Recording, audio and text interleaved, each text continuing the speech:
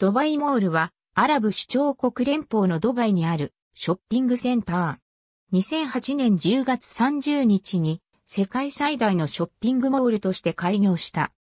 ドバイアクアリウムドバイアクアリウムアンダーウォーターズのシャークトンネルドバイモールは総面積約111.5万平方メートル、屋内フロア約55万平方メートルで、カナダのエストエドモントンモール、中国のカナンモール、フィリピンの SM モールオブ、アジアなどを上回る世界最大のショッピングモールである。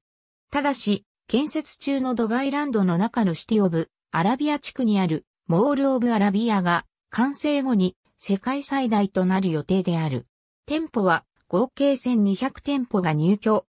他に世界最大の部分型の水族館やアイススケートリンク、ウォーターフロントアトリウム、22のスクリーンを持つ映画館があり、CA セガジョイポリスの屋内テーマパークであるセガリパブリックや木の国や書店も展開されている。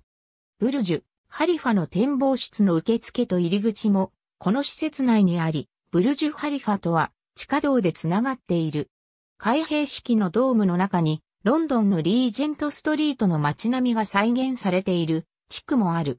イギリスのマークススペンサーに続き、2010年までには、さらにアメリカのブルーミングデールズ、フランスのギャラリー・ラファイエットと、新たに2つの百貨店も進出する。来店客数では初年度は3900万人だったが、2014年度には8000万人が来店した。ありがとうございます。